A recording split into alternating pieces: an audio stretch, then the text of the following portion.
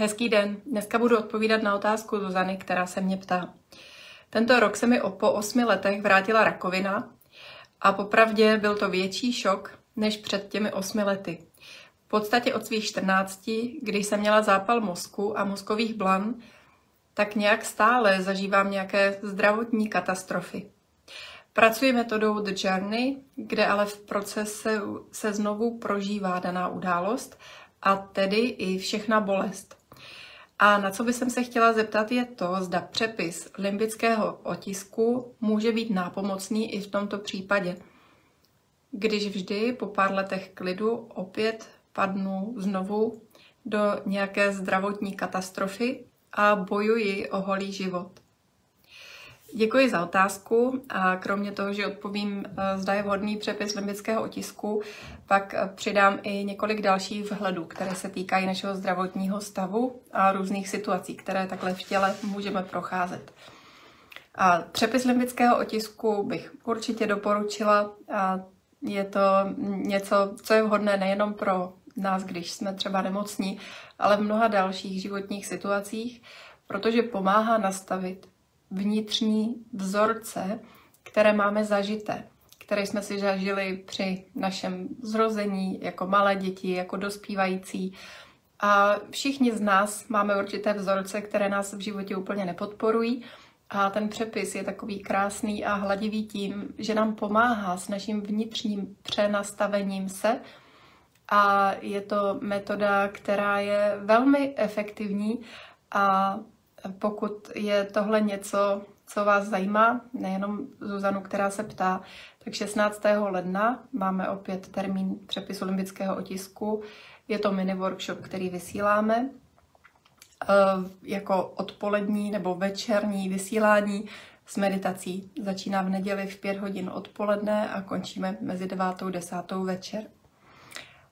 Aktuálně navíc, pokud se díváte eh, v čase, kdy vysílám, nebo někdy brzy po, tak do 7. ledna máme ještě nastavené novoroční slevy, eh, které platí právě i na přepis limbického otisku. Najdete na mém webu denisapalečková.cz. No a teďka bych chtěla ještě přidat dalších pár slov k tomu, jak podpořit svůj zdravotní stav, nejen v situaci Zuzany, ale i v mnoha dalších různých variantách.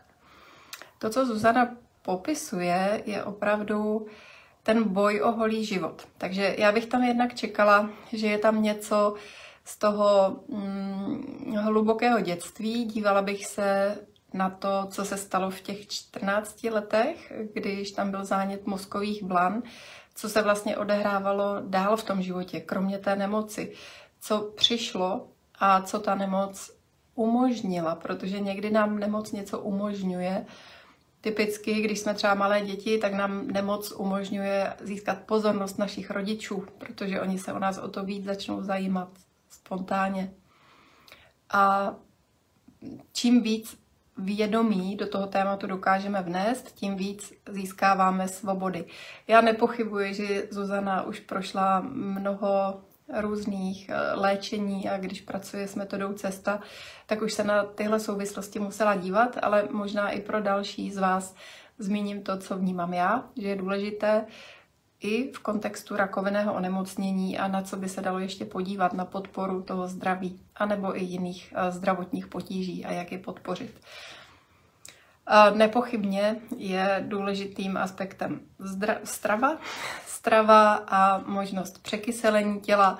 V podstatě, co se týká těch onkologických onemocnění i dalších, velkým tématem nebo léčbou bývá očista. No a ta očista e, je dobré, aby byla na tělesné úrovni a na emoční úrovni. Obě tyhle roviny jsou velmi důležité.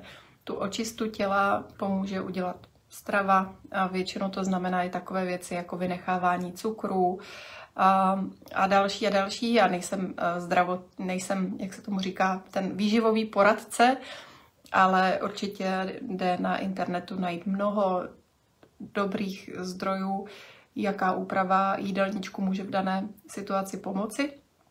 A mám ve svém okruhu řadu přátel, pro které právě i změna stravy hrála klíčovou roli v jejich uzdravení.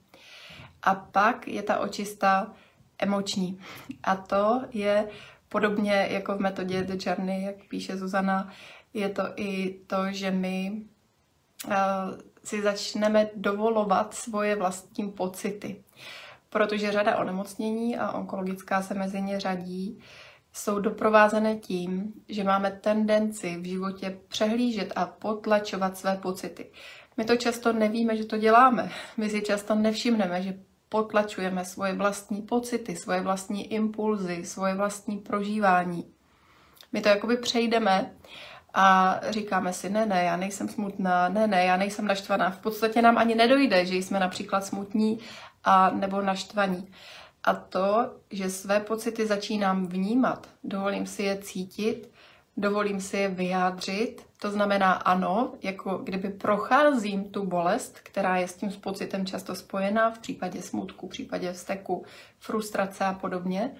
No ale to je současně i to, co mě osvobozuje. Takže ty pocity, oni mi neubližují, ale eh, já je prožívám proto, abych dovolila, aby tyto pocity opustily můj systém. Pravděpodobně každý z vás máte zkušenost, že když se dobře vyplakáte, cítíte třeba únavu, ale spolu s tím i úlevu, jako když něco odejde s těmi slzami. A pláč je nesmírně důležitá součást našeho života. Všichni potřebujeme někdy plakat, když procházíme nějakou ztrátou, něčím, co nás bolí, tak je to velmi důležitá uh, součást toho, jak sami sebe očistit od té určité třeba tíhy toho prožívání a smutku. A proto je velmi důležité dovolit si cítit svoje tělo, dovolit si cítit své pocity a dovolit si pokud možno v uvolnění a bez zábran, bez takového vnitřního stahování se, stlačování se, dovolit si ty svoje vlastní pocity i vyjadřovat. A to může být eh, jak v kontaktu třeba s nějakými blízkými osobami, protože je dobré, aby s těmi nejbližšími jsme si byli blízko, i co se týká těch našich jak kdyby stínů nebo částí, které bychom si nejradši schovali. A, a, a to je důležité i o samotě. Jo? Někdy třeba cítíte, že máte zábranu vyjádřit, prožít eh, to, co se ve vás odehrává, když jste na veřejnosti a, a nebo v kolektivu dalších lidí, kteří vám třeba nejsou tak blízko a tak nemusíte mít to srdce na dlani vždy a všude, za každých okolností, ale potom je důležité si najít nějaký svůj prostor, kde se uvolním a kde žádným způsobem nereguluji to, co se ve mně odehrává. Dovolím si plakat, dovolím si se vstekat. Tak je to opravdu znovu a znovu se nořit do svých vlastních pocitů, do svých vlastních prožitků. Co nám k tomu pomáhá? Kontakt s tělem. Ten můžeme podpořit například díky tanci, díky dotekům, díky masážím, masážím, které jsou láskyplné, které jsou vědomé, kdy ten, kdo mě masíruje, mě současně i naplno vnímá a tím mi pomáhá, abych i já cítila a vnímala sama sebe.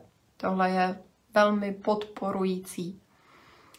A tak to jsem zmínila dva okruhy, ještě zmíním třetí. Jo? Zmiňovala jsem úpravu jídelníčku, která může být velkou podporou a určitě vy, kdo jste onemocněli nějakým závažnějším způsobem, tak už jste pravděpodobně nahledali spoustu zdrojů, jak si pomoci, co se týká toho zdraví. Zmiňovala jsem očistu emocí, dovolit si cítit, dovolit si své vlastní pocity vnímat a prožívat, ve volnosti, bez stažení, bez napětí, bez toho, abychom ty pocity stlačovali, dovolit jim, aby odcházeli, protože i tím ten svůj systém čistíme.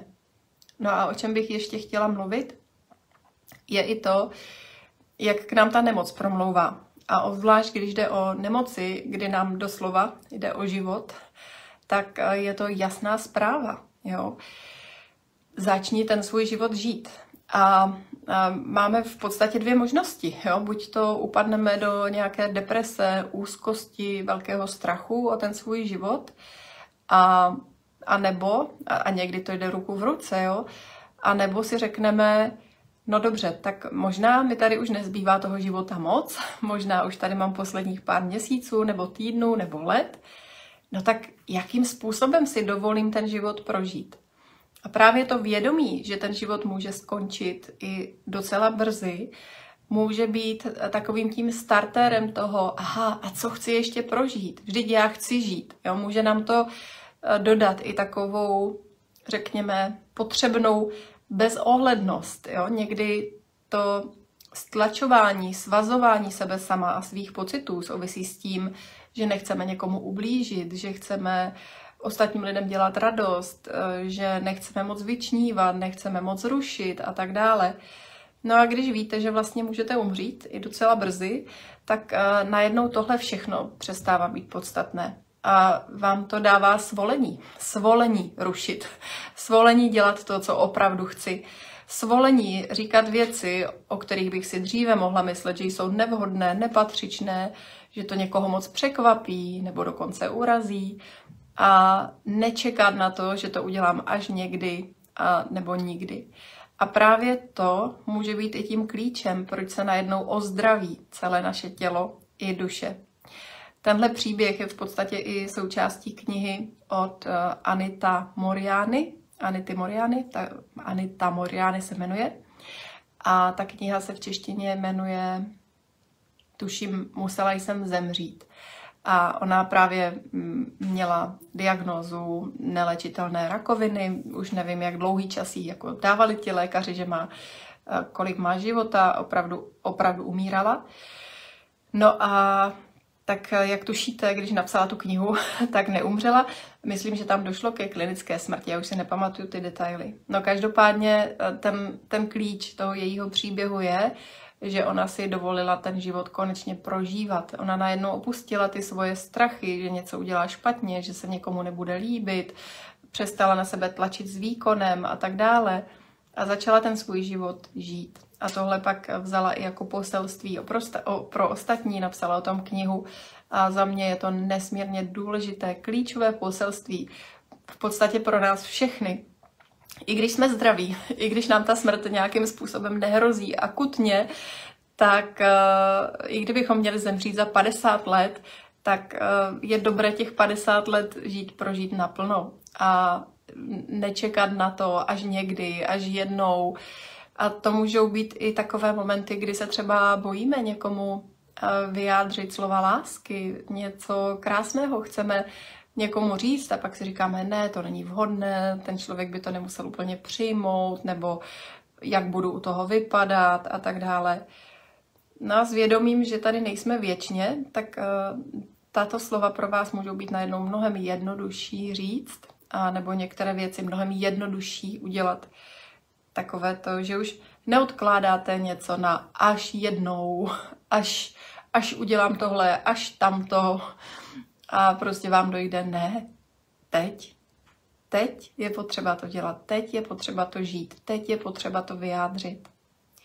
A tak eh, si moc přeju, aby tahle moje slova byla inspirací nejenom pro Zuzku, která se ptala, ale i pro mnoho dalších, i pro ty, kteří nejsou nemocní, díky Bohu, a aby nám všem byla inspirací, jak žít naplno tady a teď, jak v sobě nic eh, nestlačovat, neschovávat, eh, neschovávat si něco na jindy, na později, na až jednou, ale dovolit si ten život žít v jeho plnosti a radosti už teď.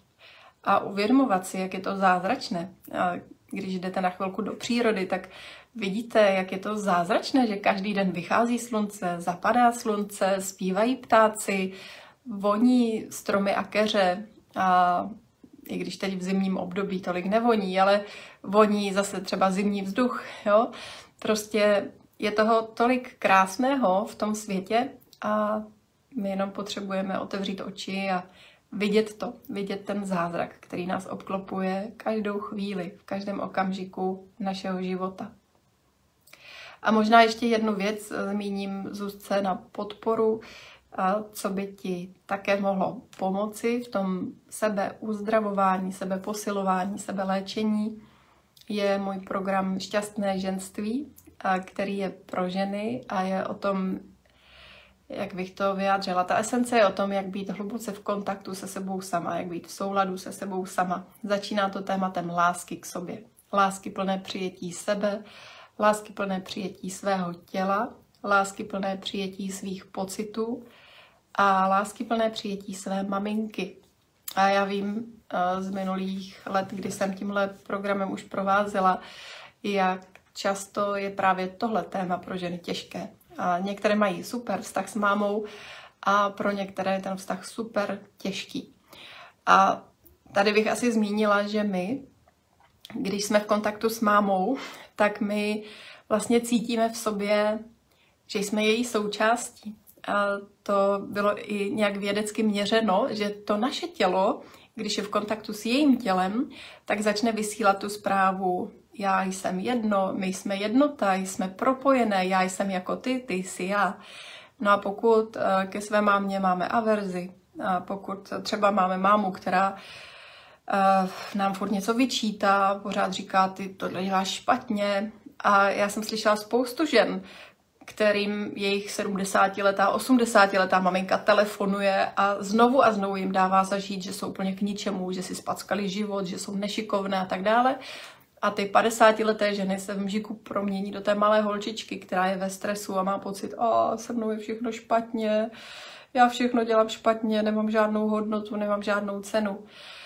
A je to velmi těžké, protože my tam skutečně máme s mámou velmi silné propojení.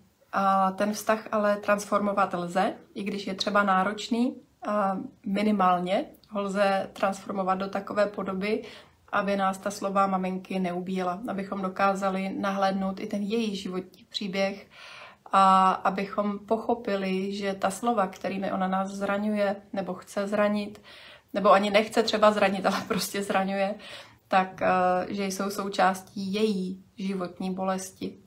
A ve chvíli, kdy tohle dokážeme pochopit nejenom v hlavě, ale i to v sobě hlouběji prožít, tak tam přichází taková svoboda, takové odpoutání. Už tam najednou nejsou ty háčky, za které ona se může zaháknout těmi svými slovy.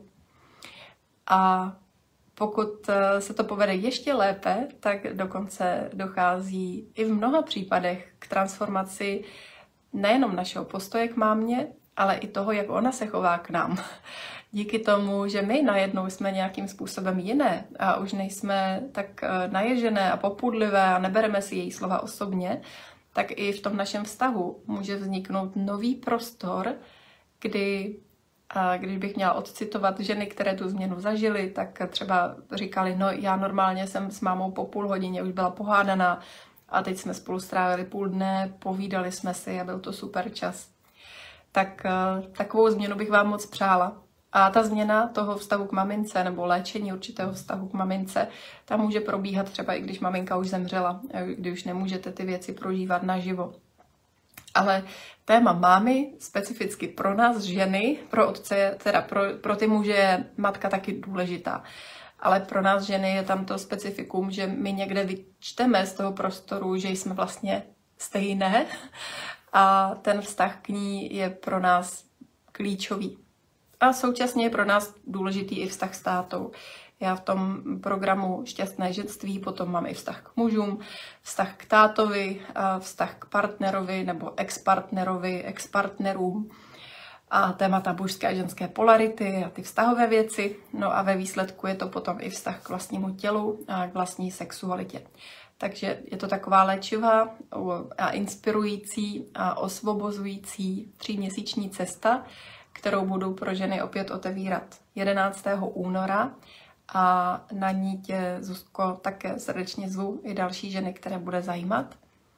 A pokud tohle video vidíte v nějaké dohledné době, to znamená buď to v přímém přenosu nebo krátce po, tak jste i v době, kdy ještě můžete využít novoročních slev i na tento program, kdy do té cesty můžete vstoupit o třetinu levněji, jestli si to dobře pamatuju tak to je pozvánka pro nejenom léčení, ale pro takové sebeposílení, sebe uzdravení a pro větší spokojenost a uvolnění v našem životě, které je pochopitelně základem našeho zdraví a naší duševní pohody.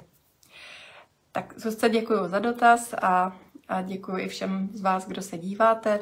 Tohle video můžete sdílet, pokud budete chtít, pokud hledáte další zdroje ode mě, najdete je na mém YouTube kanálu Denisa Říha Palečková a na webu denisapalečková.cz, kde se dočtete i o všech aktuálních eh, programech online, offline a kde najdete i několik dárků zdarma, jako například zbližovací karty, eh, které jsem pro vás vytvořila nedávno jako vánoční dárek a které jsou určené tomu, abyste si byli blíž se svými blízkými. To může být partner, ale i vaši přátelé, nebo vaše děti, nebo vaši rodiče. A už mám mnoho zpětných vazeb o tom, jak to hraní těch zbližovacích karet, kdy vy odpovídáte na různé otázky týkající se situací z vašeho života nebo na různé vaše postoje a názory, tak jak tyto karty opravdu vnesly mnoho zábavy a toho zblížení ve vztazích a to byl můj záměr, protože někdy spolu žijeme, ale žijeme tak jako vedle sebe a málo kdy si najdeme prostor na to, abychom eh, se víc věnovali tomu sdílení, o tom, co kdo vnímá, co kdo cítí, nebo i vyprávění, vzpomínání na různé chvíle našeho života. A na to jsou ty karty právě zaměřené, aby vám k tomu pomohly, respektive ty otázky, které na těch kartičkách najdete. Tak ty si můžete stáhnout na mém webu denisapalečková.cz, odkaz najdete přímo na úvodní stránce webu. A pak tam najdete i vztahovou inspiraci, tři klíče pro naplněný vztah a mnoho dalšího. Tak já doufám, že tyhle dárky a zdroje ode mě využijete. Přeju vám krásný den a budu se těšit opět na viděnou.